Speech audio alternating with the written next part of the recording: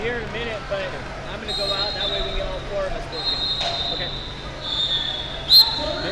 You want me to go be judge then? I'm gonna go judge. Yeah. Oh, you're judging? Okay. And then we'll have him whistle.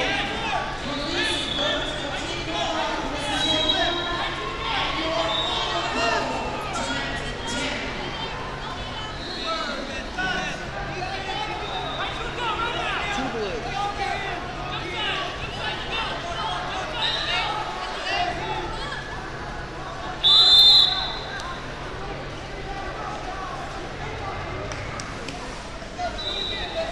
We may need to go just to two matches at a time, Okay. but we'll, we'll do this one rotation of three and then maybe do two.